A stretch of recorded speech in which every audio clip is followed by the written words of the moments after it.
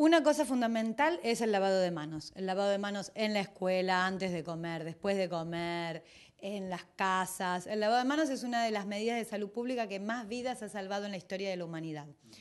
Después otra cosa, cuando estornudan, los chicos en vez de estornudar y largar las gotitas, nosotros le decimos gotitas de flu, hay que ponerse el antecodo en la boca.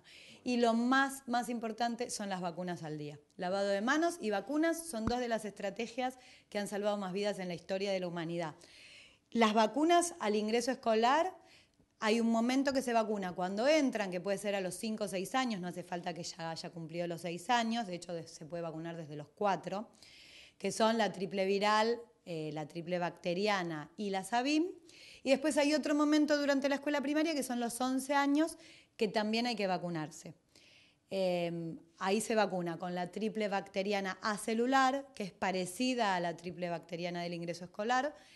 Em, y las nenas se tienen que vacunar con la vacuna para VPH, la vacuna en contra del cáncer cervicuterino. Lo ideal es que se coman frutas con cáscara y que la cáscara se saque porque ahí les, le eliminas no solo las bacterias, sino quizás algún producto tóxico. Entonces lo ideal es no comer con cáscara, pero bueno, a veces los chicos se les dificulta poder pelar la manzana o la naranja.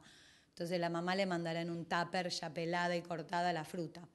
Y siempre recordar lavarse las manos antes de manipular toda la fruta.